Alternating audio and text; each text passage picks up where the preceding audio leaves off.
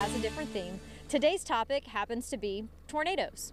So, with that in mind, it's important that with any type of severe weather, you know where you'll go if a warning is issued. Jonathan Jones takes a look at where your safe place should be in your house if a tornado warning is issued. Strong to possible severe thunderstorms developing later on tonight here in East Tennessee. Be prepared to take cover if severe weather impacts your area. Oh man, looks like there's some severe weather on the way.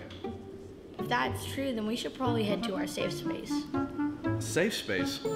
Yeah, Dad. It's the place in our house where it's the safest to seek shelter during the storm. You know where that is, don't you? Of course. Follow me. Dad, what are you doing? Hiding under your bed. This is where I always come when something scary happens, like a storm or I have a bad dream. Bedrooms are not a good choice because they are usually upstairs or run along an outside wall.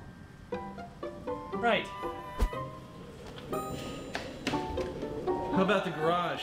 The garage is not safe. Again, we're close to an outside wall. Plus, that door is not going to stop a tornado.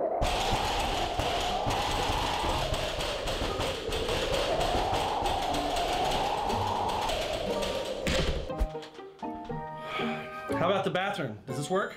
Good choice. We're downstairs and near the middle of the house. Is it cool if I grab some supplies? There's no telling how long we're going to be in here. Sure, as long as it doesn't take extra time. The idea is to take action quick.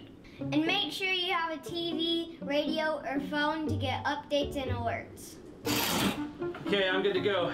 You guys like goldfish and ukulele music, right?